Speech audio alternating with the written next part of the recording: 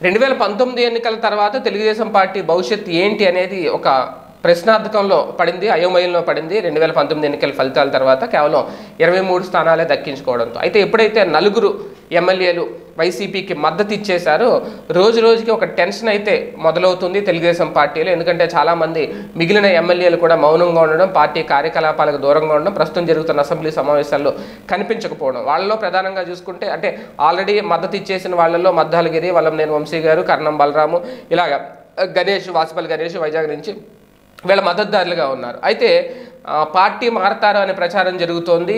విశాఖ నుంచి గంటా శ్రీనివాసరావు గారు కానివ్వండి ప్రకాశం జిల్లా అద్దంకి ఎమ్మెల్యే గొడ్డిపాటి రవికుమార్ కానీ కాకపోతే వీళ్ళ విషయంలో ఇంకా పూర్తి స్థాయి క్లారిటీ అయితే రాలేదు. అలాగని పార్టీలో యాక్టివ్గా ఉన్నారా టీడీపీలు అంటే అది లేదు. కానీ వైసీపీలో చేరిక విషయంలో వెనకడుగు వేస్తున్నారు. వాళ్ళు వైసీపీలో చేరబోతున్నారని చెప్పి సోషల్ మీడియాలో కానీ ప్రధాన మీడియాలో కానీ భారీ ఎత్తున ప్రచారం జరుగుతున్నా దాన్ని ఖండించే పని కూడా చేయట్లేదు. అలాగని చెప్పి తెలుగుదేశం పార్టీ కూడా వాళ్ళని అంతగా పట్టించుకోవట్లేదు. లైట్ తీసుకుంది అనే ప్రచారం కూడా జరుగుతోంది. అయితే ఇటువంటి నేపథ్యంలో ఇప్పుడు ఓకే గంటా శ్రీనివాసరావు గారు చేరతారా లేదా అనే విషయం పక్కన పెడితే అద్దంకి ఎమ్మెల్యే గొట్టిపాటి రవికుమార్ గారు కూడా వైసీపీ వైపు వెళ్ళిపోతున్నారు అనే ప్రచారం కొద్ది రోజులుగా ఊపందుకుంది. వ్యాపార లావాదేవీలకు సంబంధించి అనేది.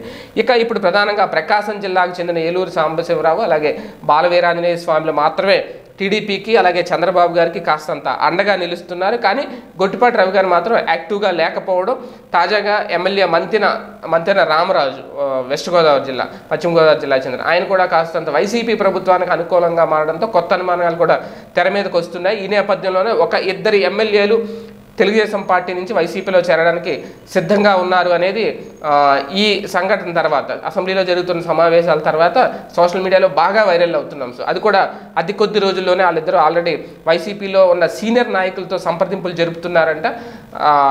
ఆల్మోస్ట్ సంప్రదింపులు పూర్తయినాయి. వాళ్ళు ఏ విధంగా పార్టీలోకి రావాలి ఎప్పుడు రావాలి అనే ముహూర్తానికి ఫిక్స్ చేసుకుని సిద్ధంగా ఉన్నారండి. అదే కనుక జరిగితే మరొక అతిపెద్ద షాక్ తప్పదు. తెలుగుదేశం పార్టీకి చంద్రబాబు గారికి అనేది ఇప్పుడు జరుగుతున్న ప్రచారం. ఈ వీడియో గనక మీకు నచ్చినట్లయితే లైక్ చేయండి షేర్ చేయండి. మరిన్ని వీడియోస్ కోసం మా ఛానల్ను సబ్స్క్రైబ్ చేయండి.